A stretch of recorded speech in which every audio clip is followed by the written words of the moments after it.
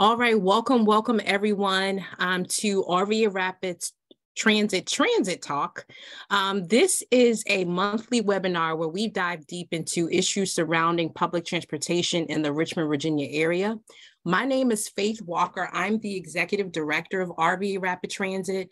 Now, as, as, as know, and maybe some of you don't know, um, we are a nonprofit here in the Richmond region dedicated to advocating for frequent and far reaching public transportation.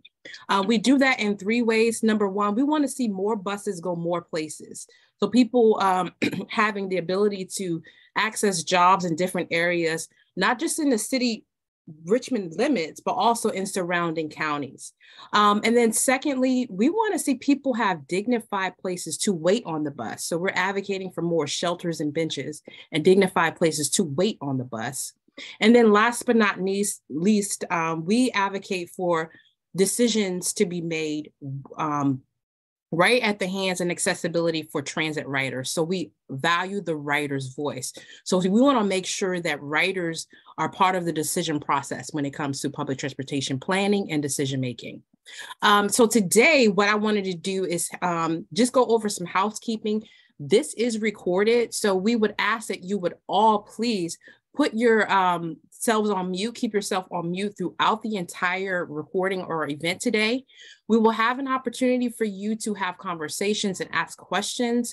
So um, to make sure that all of our questions are asked, if you can put in the chat your question, but hashtag it Q or hashtag question so that I will know that it's a question and we'll make sure we answer it. Um, and then secondly, this is recording. So we'll have these recordings up on our YouTube page. All right, but before we get started, we always like to start off um, with some news. So I'm going to turn it over to Richard Hankins, our Programs and Communications Manager. Take it away, Richard. Hey guys, uh, thanks for joining us today. Uh, as Faith said, my name's Richard. Um, and so just for some transit news, um, so first off, uh, parking minimums were eliminated in the city of Richmond. Uh, for those who don't know, in most cities in the United States, there's a mandated amount of parking per apartment, uh, per business, even sometimes per bowling alley. It gets really bizarre. And oftentimes it can raise rents, make places less walkable, and make them less conducive to transit. So we're really happy that there's been a big policy shift towards making cities prioritize people over car, and it will pay dividends for transit. Um, very exciting news. Yesterday uh, was the second day of the Virginia Transit Association's annual conference, and we actually won an award. We won the Lisa Guthrie and Linda McMullen Transit Advocacy Award. It was the inaugural award for this public transit advocacy, and they were so impressed by our work, um, by our continued advocacy and education towards making Richmond's transit a better place, always speaking up, building a coalition, the rider's voice, elevating all of those voices, and the Better Bus Stop program, getting community members involved to do what they can do to make the bus system better. Um, it was a huge honor. It was completely unexpected. Um, and so we're just really happy to be recognized for our work towards making Richmond a better place. Um, finally, um, if you guys know either from a previous transit talk or in general, uh, GRTC has this new infrastructure plan to drastically increase the number of uh, bus stops with benches or shelters. And so that is coming through. There was a new bus shelter installed at 25th and S Streets in Church Hill. So we're really happy to see that. Back to you, Faith. All righty. So what I wanted to do at this portion, we always play um, a rider's voice comment. And this is our rider's voice program where our transit ambassadors um, go out to each bus stop and collect stories, impact stories of what it's like using public transportation uh, in the city of Richmond. This is a comment from Janasia, and um, let's listen to it because I, I love to hear young people's perspective when it comes to public transportation. So let's listen. Uh, Diana, can you just give me a thumbs up to make sure we can hear it when I play? My name is Janasia. I just think the bus routes like should be free also. Like don't go back to paying. Just be free because it's better free. Just in case your mom don't want to take you nowhere, you have a bus, a free bus to take and go places. But I be taking 1A, 1B, 1C, 38. I take every all the buses everywhere for real just to get out the house more. So this is from a teenager who is using public transportation to develop more autonomy. Um, and even though her comments, hey, mom doesn't want to take me somewhere, this is giving young people access. Um, they have no barriers to just hop on a bus. And as many of you know, our young people through all throughout COVID um, have been put in situations, been um, glued to video games, and this is allowing them to move about our city um, uninhibited. And some of the things of young people having access to autonomy with public transportation, it provides with a sense of self. So um, this is giving young people the ability to choose, hey, I don't have to sit at home. I can use the bus to get places. Um, but it also improves their confidence in traveling. Um, so young people have the ability to choose places, but also travel on their own. Um, also, I think um, command over their own minds. I mean, he has the uh, young people have the ability to think about places they want to go, hop on the bus, plan their trips, but also use critical thinking in planning their trips. Um, but also increase responsibility. So one of the things that this can do for young people is give them the ability to choose to get employment, have a job, um, and then not have to depend on someone to get them there. So thank you so much, Janasia, for providing with that um, that comment. And so um, I want to also hand it back to our speakers today. Today, you're all here because we wanted to um, every year. Um, last year was the first year that we launched the State of Transit Report, where we took um, the 2040 vision plan that was created by um, Plan RVA that really got the um, nine jurisdictions around us to all agree upon a master plan on what that should look like. Um, and transportation in 13 different corridors from Ashland to Petersburg and so forth. And so what we wanted to do was definitely um, take that where we are, where we wanted to be, where we are now, and collaborate that with census data and, um, and information from GRTC. And we created the 2022 State of Transit Report last year, and we have the a new report this year. I'm so excited to bring on our um, programs and communications manager, Richard Hankins, who led the charge on this report with the help of a research fellow by the name of Diana Hall. They're going to be diving deep in this new report. And so without further ado, I want to turn it over to them to take over the report. Take it away, guys. Awesome. Yeah. Thank you guys so much for joining us. Uh, my name is Richard again. I've already done that. Um, but this this report has been a labor of love and um, you know, it took, took quite a few months to synthesize everything. And, you know, while we were working on it, you know, there were policy changes happening during it. Um, but so myself and uh, Diana was a huge help getting some of the research, the data points, the storytelling, trying to make a cohesive package and trying to make it accessible for people where it's not bogged down in technical jargon or just terminology that just makes your eyes glaze over it. So without further ado, um, let's get started. Um, so as Faith mentioned at the very beginning, you know, it's good to start with our mission that like we're dedicated to educating organizing and advocating for frequent and far-reaching transit in the Richmond region. So part of that is, you know, I think we have a couple mobility university students in here, and that's just teaching them the history of transit, how to advocate, um, and how that we can build a coalition to advocate and explain to people in positions of power why it's important to have transformational improvements in transit. Um, and so that that has three pillars. Um, we want more buses going more places. A lot of buses stop at the city line, which you will see in a few of our maps. And, you know, so we want people to be able to just do what they need to do to live a happy and prosperous life. And that involves, you know, transit lines that are frequent, that do not arbitrarily stop at borders when people's lives do not, and all sorts of things like that. Secondly, uh, dignified places to wait.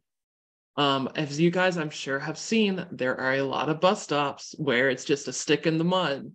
And so we are trying to advocate on multiple levels that people should at least be able to sit, but ideally should have a place to protect them from the elements. And our third pillar, elevating riders' voices, you know, it's one thing for us to say this as an organization, but we, we try to steep all of our advocacy um, in talking with the bus riders, hearing what they want. And that's why we're so happy to have our transit ambassadors, including Stephanie and Sarah, who are on this call, um, so that they can help give us the tools and the understanding and the messaging to effectively advocate for change. Um, Diana, do you want to talk about some of the benefits of transit? I'd love to. Um, so the four main benefits of transportation um, transit that we listed were accessible, financial, equitable, and environmental. Uh, accessibility wise, transit serves those who cannot drive. The access is access to vital transit is uh, good for the community's livability. Viable public space can be dedicated to people instead of cars. Financially, it costs over $10,000 a year to own and operate a car, according to AAA. Uh, that comes to contact the context of how much the car costs, um, maintenance and repairs, gasoline, insurance for it. It just keeps adding up. Financially, uh, the greater Richmond area is currently zero fare to travel by bus, and every $10 million investment yields 32 million in increased business in transportation. Um, equitable, over 90% of those in public systems do not own a car, Public transit is particularly important to people with limited incomes, and over 50% of GRTC riders make under 25K a year. There are a lot of environmental benefits of public transit. Uh, for example, buses emit 80% less carbon monoxide than cars. Uh, switching to public transportation two days a week will cut personal greenhouse gas emissions by 25%. And public transit. Hello? And we got you back reduces gasoline consumption by 6 billion gallons. Awesome. Thank you for that. Uh, and so here's the first of quite a few maps that we'll be showing as part of the report. Um, as some of y'all may know, uh, Richmond had the first electric streetcar system in the world. That's actually an official international engineering milestone. And we used to be on the forefront of transit, and I think it's safe to say we are not anymore. And on top of that, and part of the whole phrase of the automobile that happened in the early and mid 20th centuries, uh, people were ready to get rid of the streetcar, and it was burned to the ground in 1949.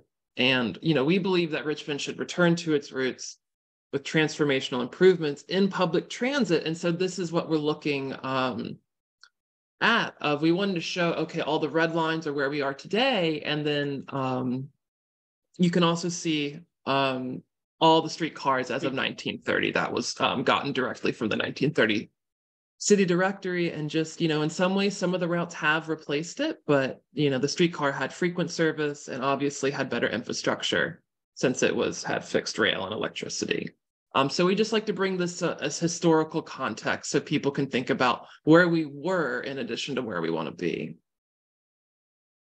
So uh, the first of our pillars, uh, more buses, more places, we're going to look at our 2040 transit vision. And then as some of y'all may know, there is a really bad bus operator shortage that thankfully is being addressed. And also transit access to jobs or lack of access to jobs is another way to look at it.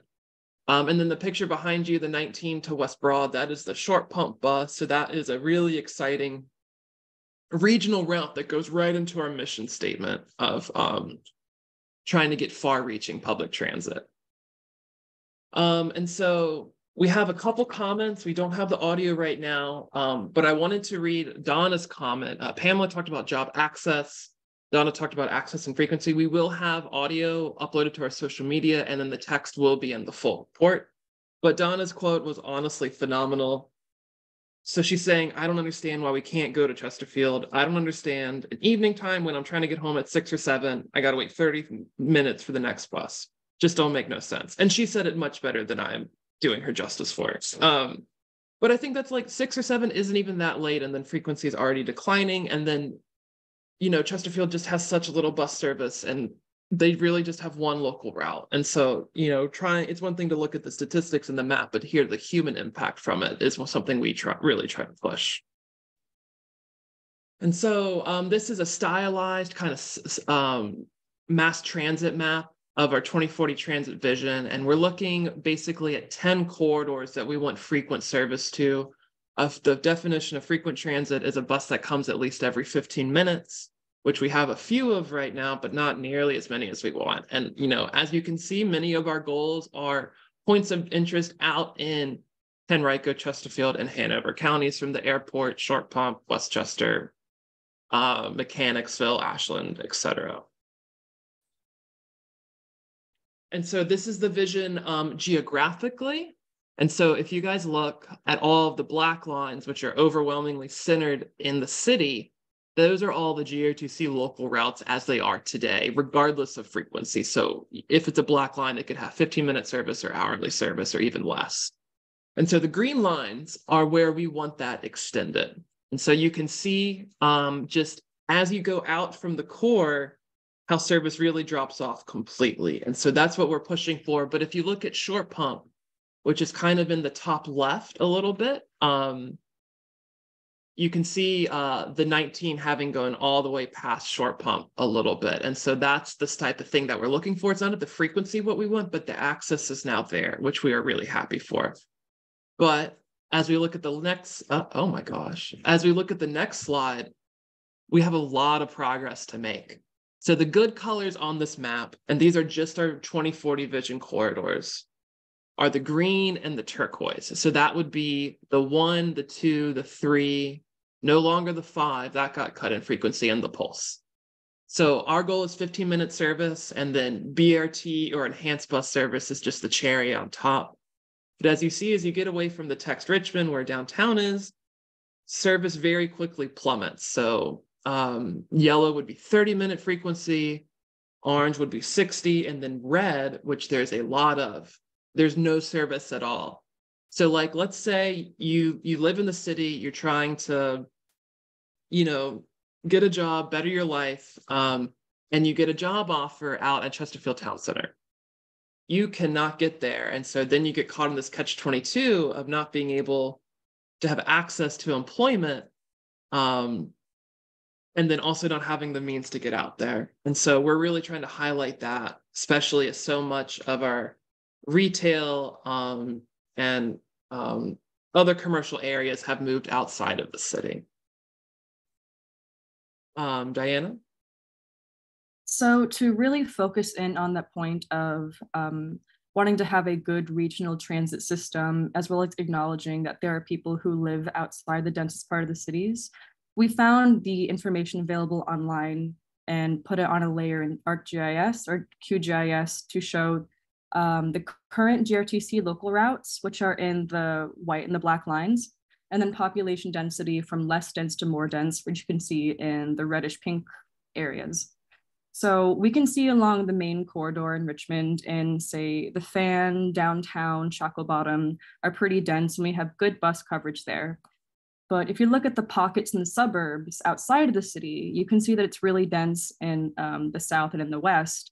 There is a population of people who live outside the city who do, do live in poverty, but we want to focus on density in this one specifically.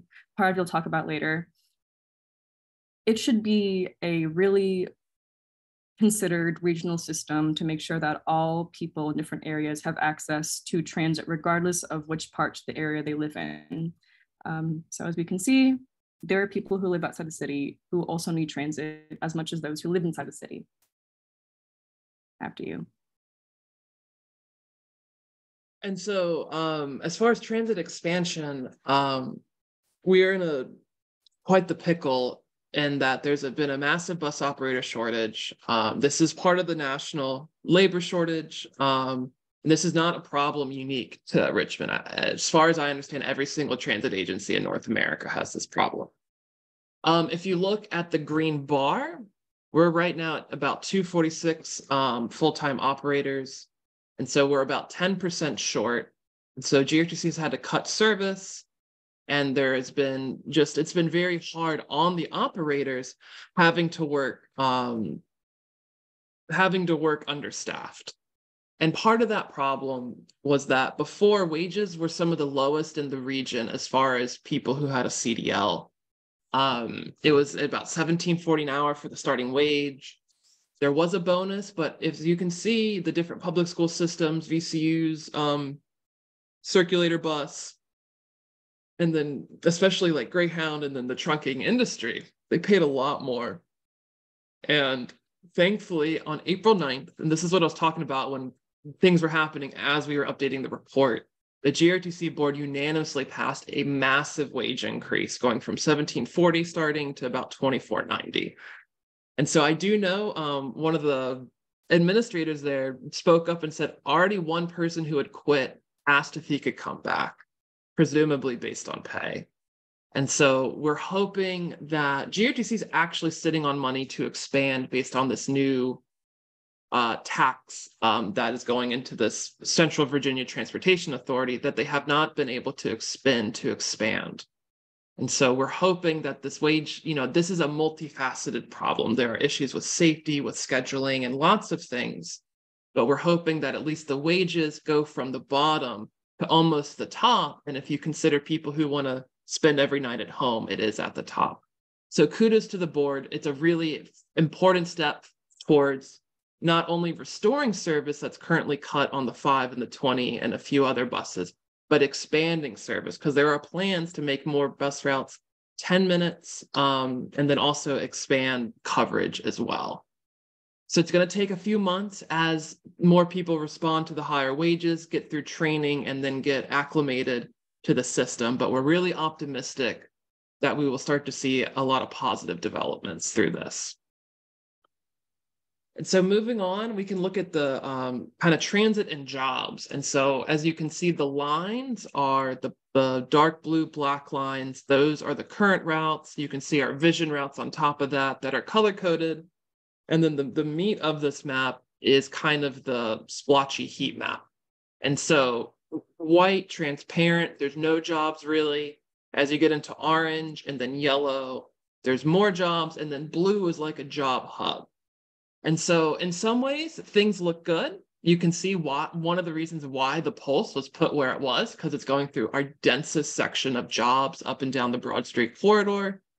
But also, if you look out Midlothian, which is the line going straight left, where Johnston Willis Hospital and Chesterfield Town Center are, there's no service there. And that's kind of what I was talking about. Thankfully, Chesterfield is looking into expanding service down that corridor, for example, but that's also contingent on the labor shortage because there is not um, enough drivers to drive the routes we currently have, much less expansion.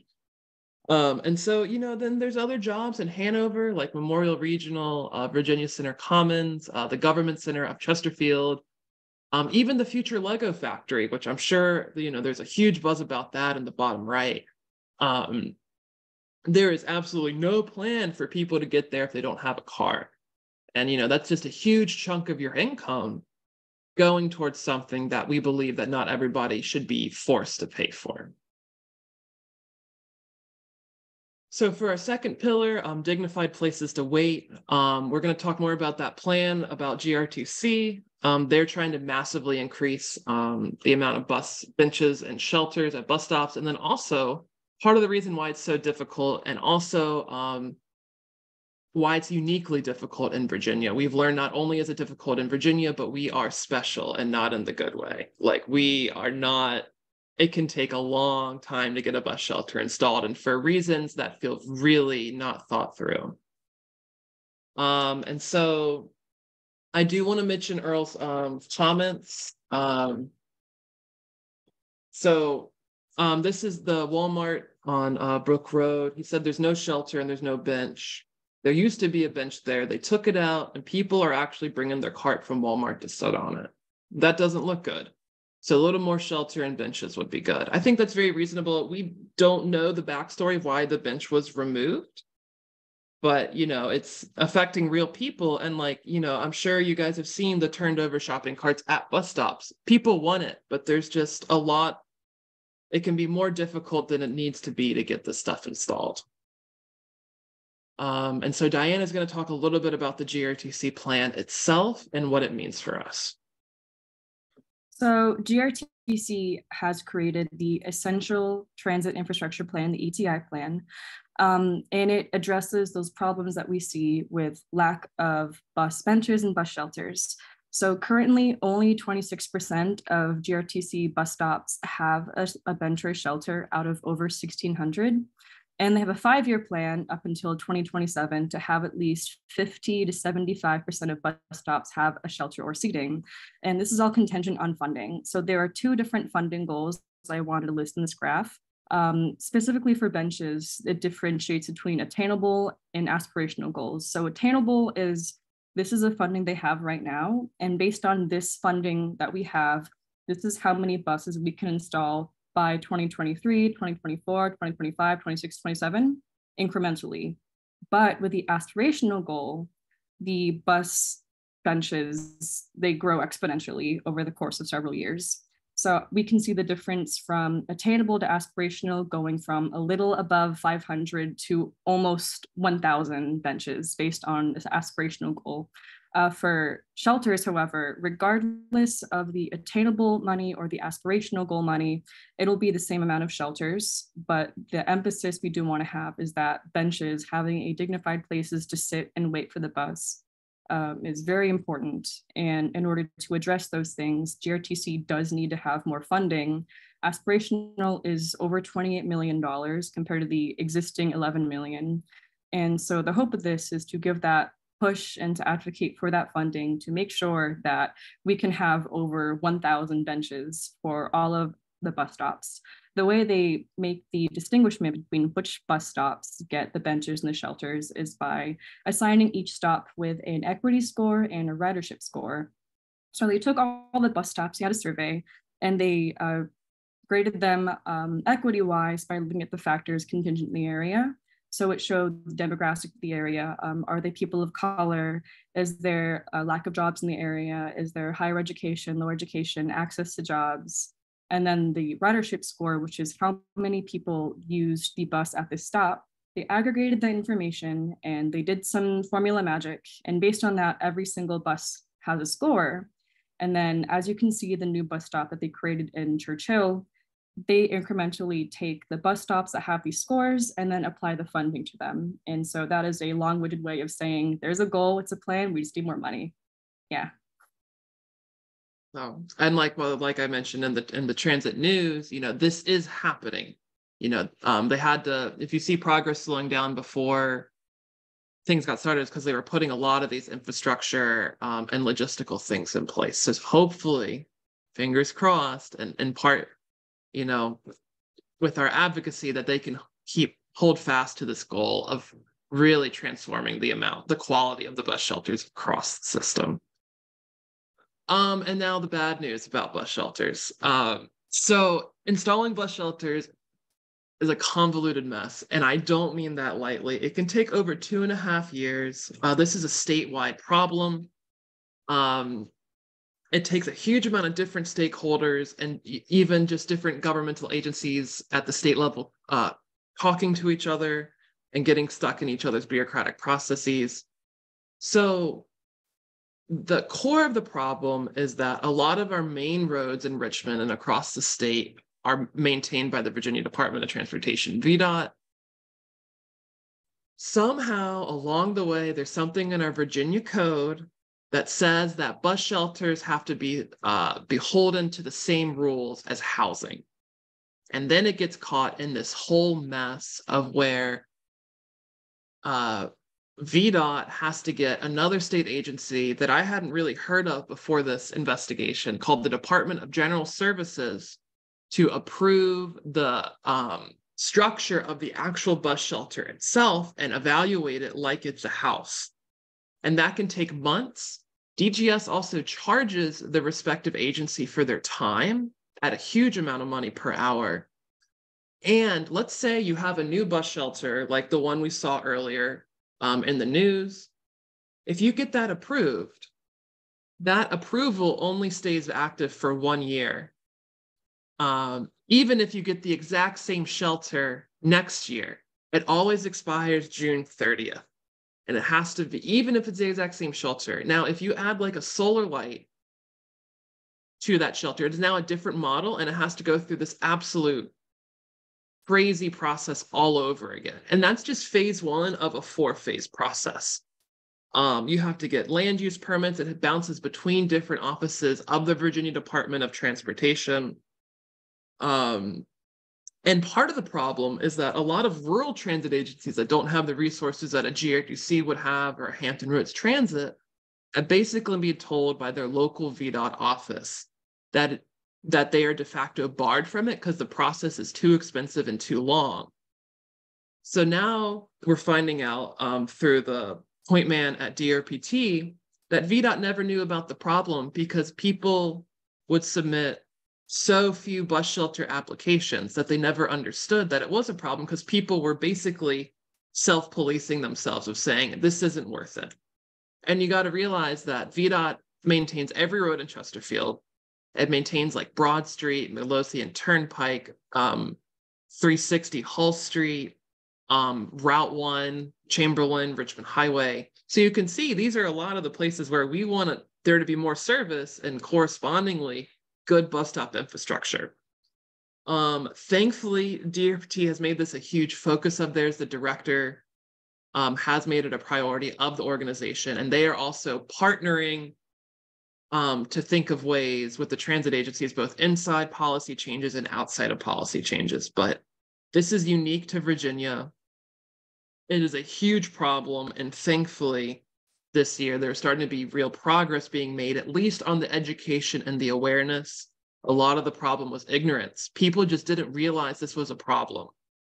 And, and until maybe three months ago, there was never a written um, outline of what you needed to do. And then also, these agencies would call VDOT and they wouldn't know what to do either. So, just the process to install a bus shelter in this state is bad.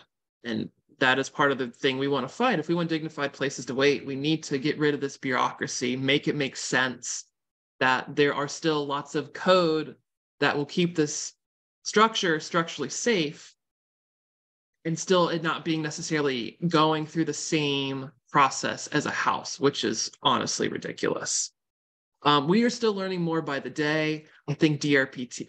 DRPT is a Virginia Department of Rail and Public Transportation. They are another state agency. So I'm sorry for not mentioning that earlier. They'll, they are still learning things about this as well.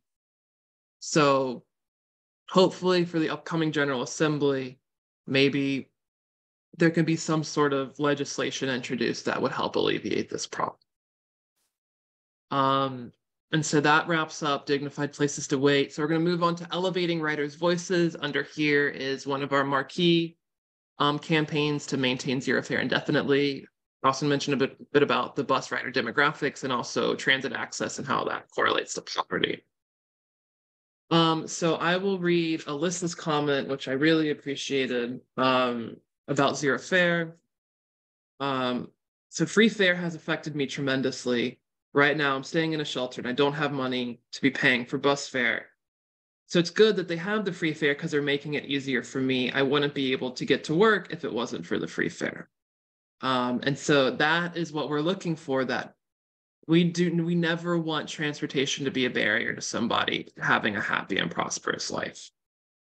Um, and so speaking of zero fare, we believe that it's a vital policy that needs permanent funding. If anybody doesn't know, it just means that anybody and everybody can get on and off the bus for free.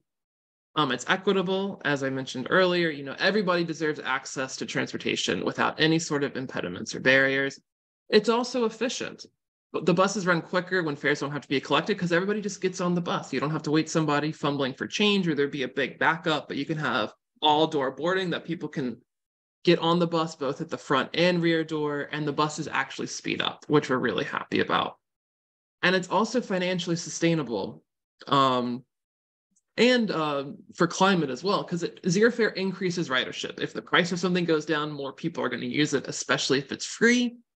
And then the state of Virginia allocates a big chunk of money to every agency. And part of that funding formula comes down to how many people are riding the bus we are zero fare. So more people are riding the bus relatively. So we actually are getting some of that money back for each person that rides the bus because the bus was free.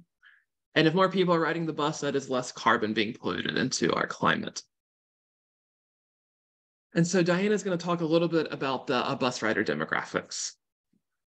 So every couple of years, GRTC um, does a bus demographic survey. They have volunteers uh, ride GRTC bus stops and buses, and they ask everybody uh, questions about what's your race, age, gender, education, employment, income, trip purpose. So the composite GRTC bus rider is a transit dependent woman of color making under 25K a year. We really wanted to emphasize that the majority of our bus riders are African American and women. Um, half of all bus riders are full-time employees. 50% and more of bus riders make below 25K a year. And trip purpose, more than half the time, it is to go to work. So the people who ride the bus are typically those who need it the most. Um, women tend to have more homekeeping type of caretaker jobs that require bus um, ridership more. And people who ride the bus are going to their jobs half the time. That's where they go to work, but they do make under 25K a year, um, which really shows how important zero fare is for people in the community to make sure that part of their income doesn't go towards how they get to work. Yeah. Thank you.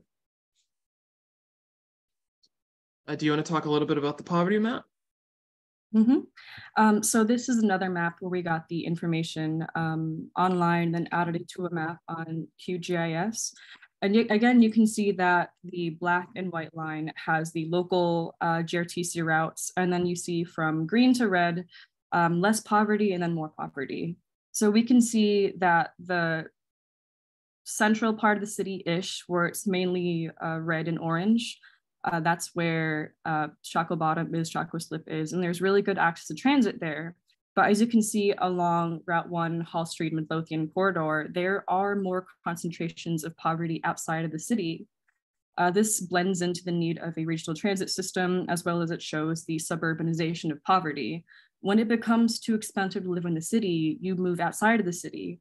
But if you don't have the money to pay for a car and you rely on the bus that only comes once every 30 minutes, every hour, or it doesn't even go to where you live at all, that greatly limits the accessibility that you have to a life outside of where you live, where you can get to work, if you have to walk to work, if you can't drive, the bus doesn't come there.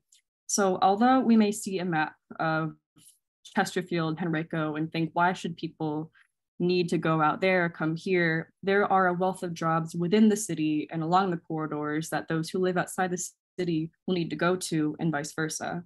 So those pockets around Kimberly Acres, Hull Street, and Tuckahoe show that there are places in the census gaps outside the city that don't even have access transit at all.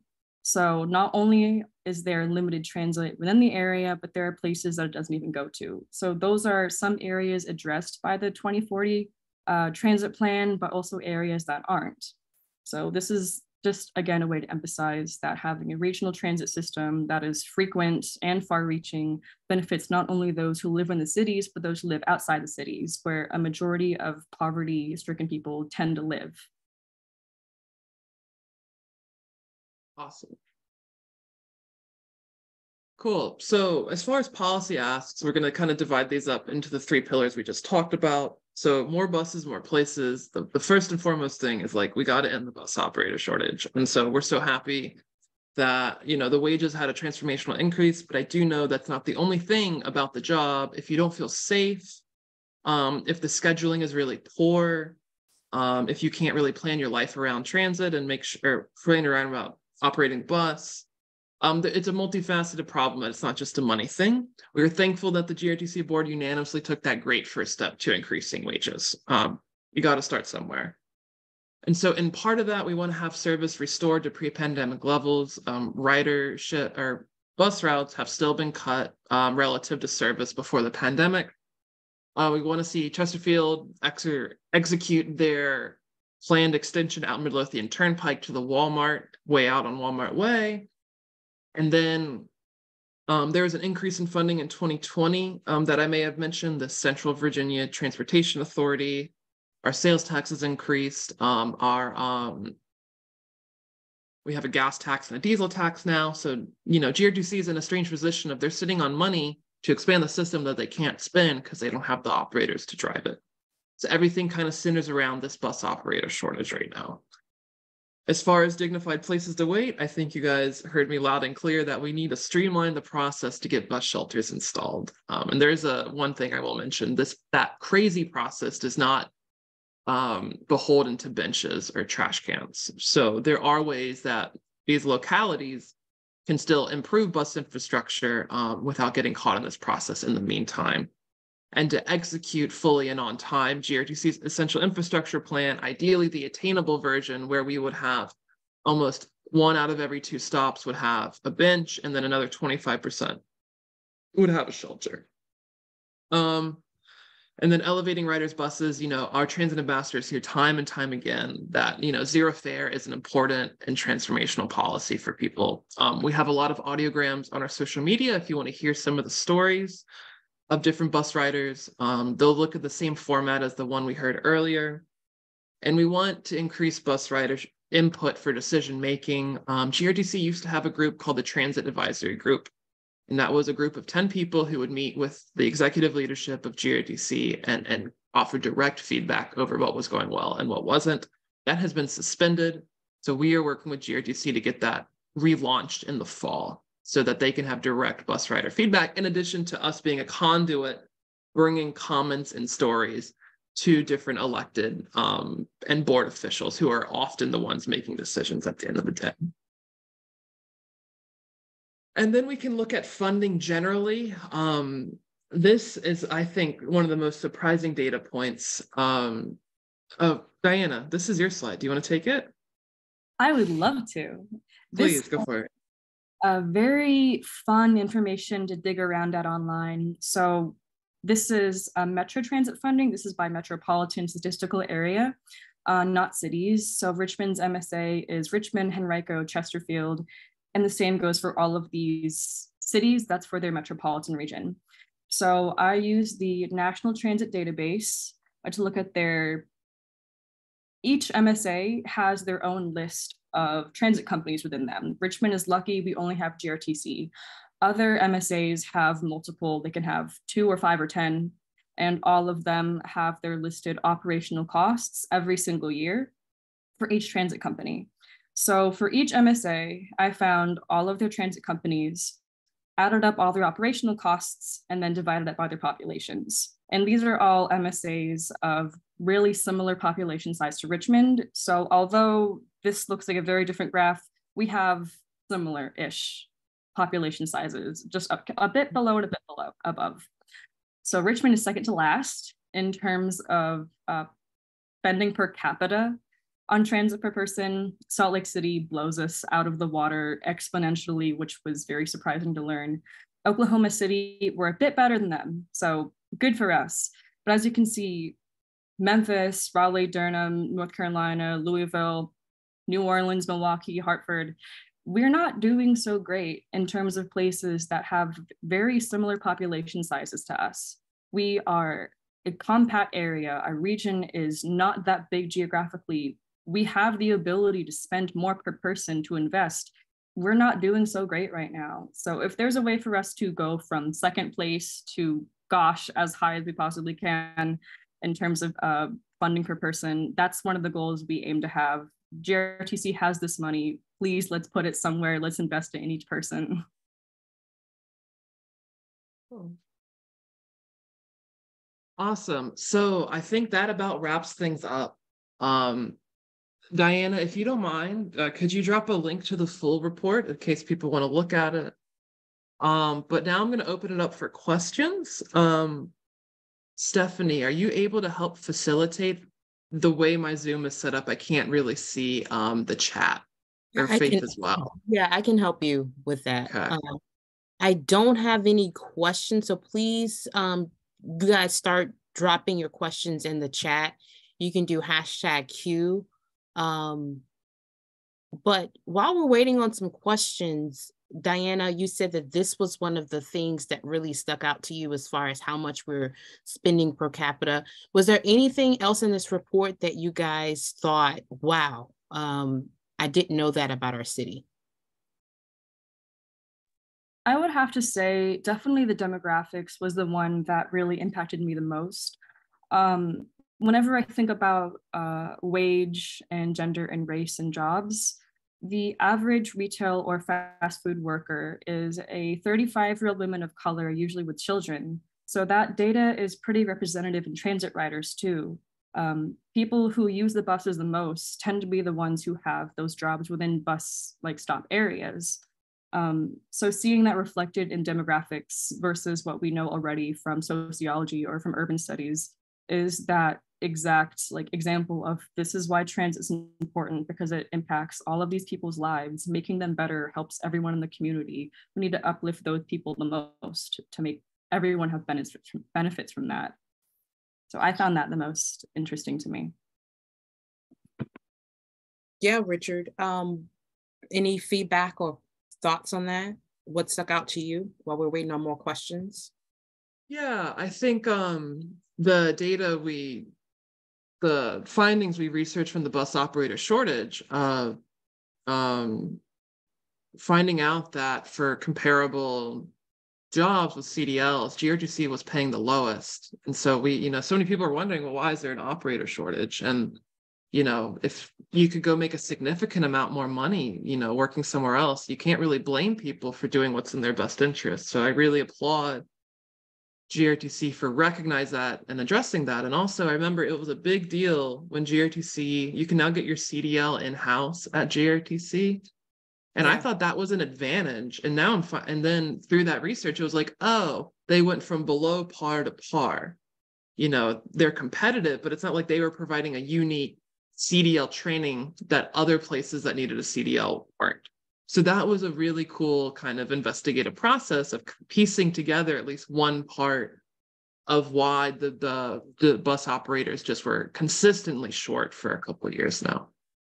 Yeah, I think one thing to um, to piggyback off Diana is, you know, when zero fare is happening, we're realizing that um, the challenge of folks who are working full time positions and they're still making under twenty five thousand is is really, really insane. Um, that we uh, nationally, our rent has increased, our food has increased, and we still have employment opportunities where people are working full time and they're making 25 grand. It's impossible to live in our city. And our city is basically designed to keep people at that rate um, because folks are not getting access or having access to higher paying jobs.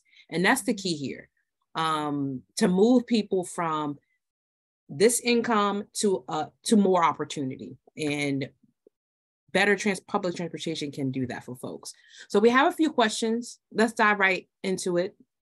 This one comes from Megan. Um, how do y'all think we can increase ridership even more to bring in those who currently have bias against using the bus? Um, one thing I have to say is, you know, raising awareness that the bus is free. A lot of my friends, even around town, who don't take transit, have no idea the bus is free. And then I'm like, you should try it. And they're like, yeah. And, then, and I'm like, it's free. You literally have nothing to lose. They perk up. Um, so that I definitely think could be a marketing thing. Um, and then also, you know, I think there needs there's a lot of um ghost buses, buses that are scheduled that don't come and a lot of issues with reliability right now, mostly due to the operator shortage. And so I think, you know, we need to make sure that when, you know, we obviously don't want service cut, but we also don't want GRTC to promise a level of service that they can't physically run. So I think you got to build and maintain trust in the transit system. Any thoughts on that, Diana? As how we can um, combat bias? About using the bus. I think that's a huge issue right now because the narrative of even expanding into the county lines, there was a narrative of with more buses brings crime. Um, and so, how do we change that narrative? And you may not need to answer that, Diana, but along those lines. Um, I, I want to say just normalizing bus usage for anything. At the Mobility University talk we gave before, um, last week, that was sort of mentioned, the bus, the bus brings this bias or bus stops have this bias. If we normalize it, break the stereotype that anybody can ride the bus, regardless of what demographic you fall into, it serves everybody equally. Um, students, especially, we can ride the bus not just uh, to go to work or class. We can go visit our friends because of it. We can go uh, go to shops, go to get food. Um, it's not just for what people have the idea of what a typical bus rider is. I think that's a very um, harmful stereotype to have or to have this idea of what what you would expect to see on a bus. I think just in general, buses are good. We should tell everybody that because then we get more riders and then we get better funding, then we have better buses. It's a whole positive feedback loop. Um, that's my answer.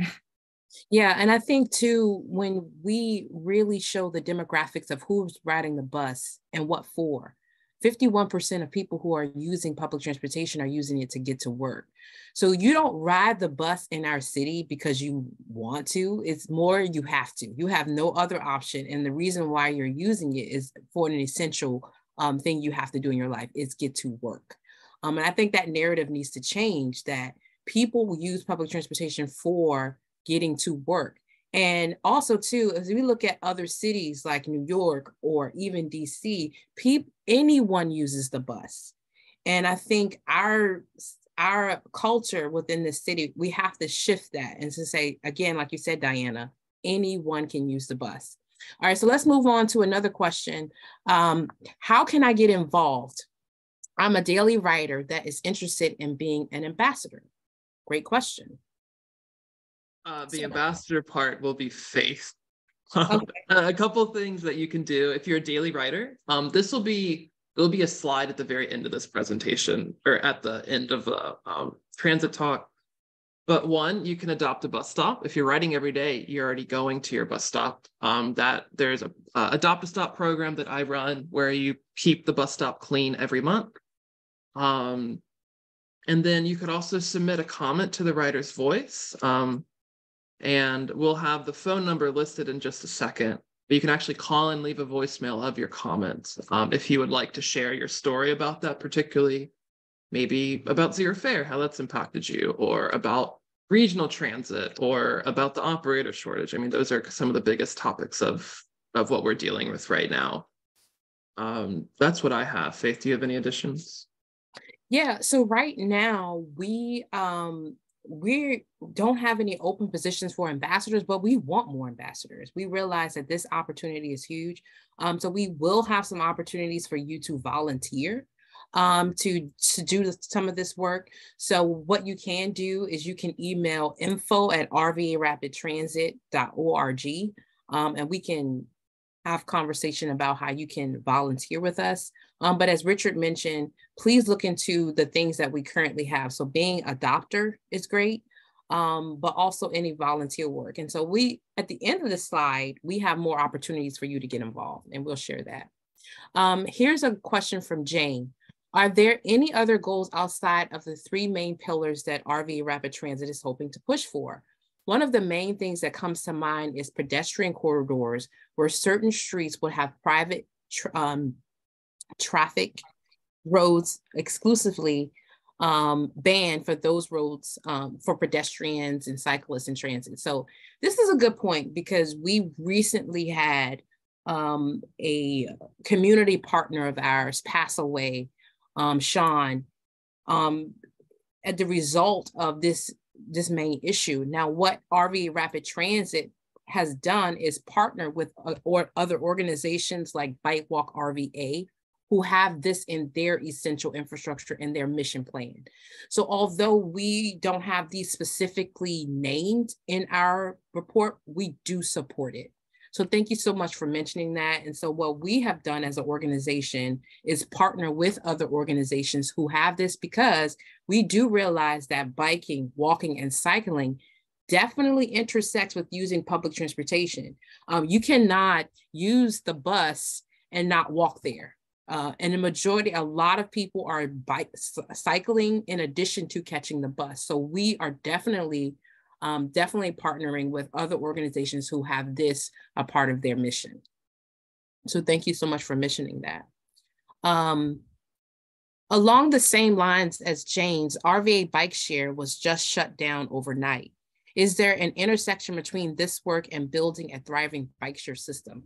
So no, not in particular. I think, again, we are definitely partnering with Bike Walk RVA, um, who is supporting this, this type of infrastructure, but we don't specifically have um, any campaigns for bike. And I'm so sorry. I'm sad to hear that this bike share just shut down overnight because these are, again, essential um, infrastructure for people to choose to travel because again not every bus goes every direction so um, opportunities to use a bicycle really breaks down that travel time and um, you getting to point a to point b. So that's why a lot of people use bikes. So we we're definitely behind that this be included.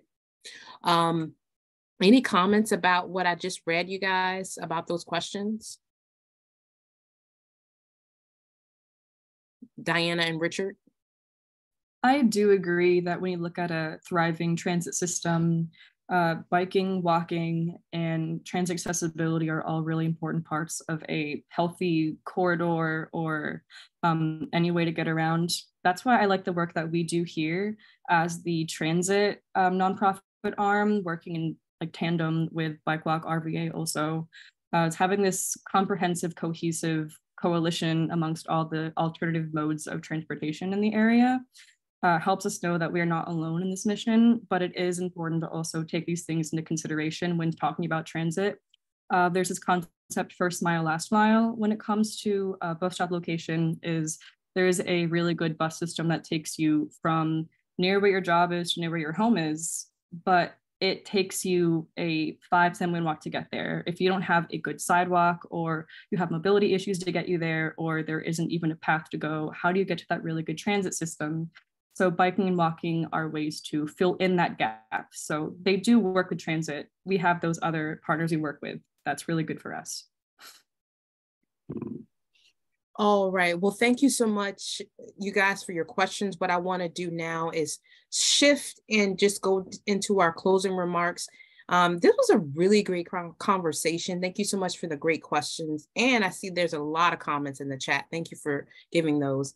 Um, and give it up quietly for Richard and Diana. If you are able to do some hand claps or put some hand claps, cut on your um, audio, or I'm sorry, don't cut on your audio, cut on your video and give them a little hand clap. Um, that was great work. Thank you guys. So I wanted to invite you some to some events that we're having coming up. Um, I briefly mentioned that we have Mobility University, which is a five week training course. Um, and so this five week training course, um, excuse me, guys let's see, this five week training course, um, this is an opportunity for the young lady who mentioned like, how can I get involved? How can I be a part of this? Join Mobility University.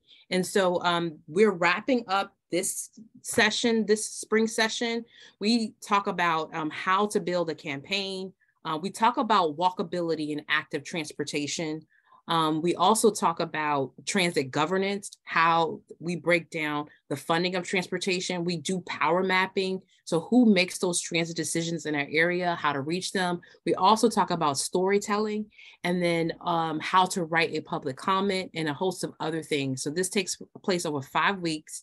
Um, we just wrapped up our last session of training. And so this next Wednesday, on May 31st, we have our graduation and reception. We want you to come. We want you to celebrate um, these graduates who um, took their time and their energy to learn about how to self advocate on their own behalf.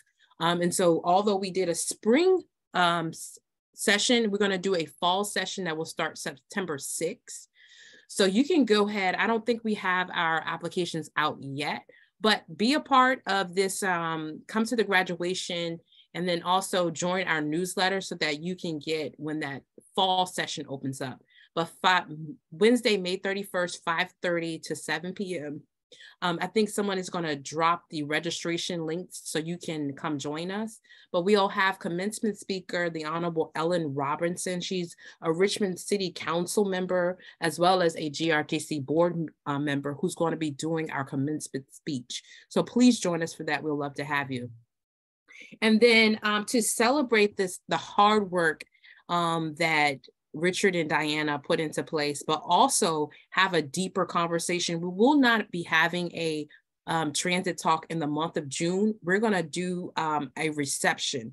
So on June 13th, um, we're and we're going to invite you to Common House, where you can take a deeper dive in this report. Um, we want to immerse you into this report where you can have drinks, cocktails, but also have a conversation amongst um, peers like yourself about all of the topics that we just discussed today. And so that'll take place again um, June 13th, um, 2023 from 6 to 8 p.m please register for this event um, by June 3rd. Okay, so we'll love to see you there. I believe they put a invite in that so we can have a deeper conversation about everything we just talked about. Um, and then last but not least, um, take action. We want you to take action. So some of the ways that you can start to take action, um, and you can go to the next slide, please.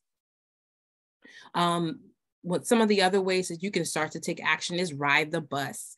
Um, we had a rider mention that they're a current rider but more transportation funding comes to our region when you ride the bus. So the first step you can take is just um, choose one or two trips throughout the week that you choose by bus. And then also we have an adopt a stop program where you can choose a bus stop within your area or a list of needed bus shelters to clean them. There's uh, not a lot of funding dedicated to keep stops and shelters clean.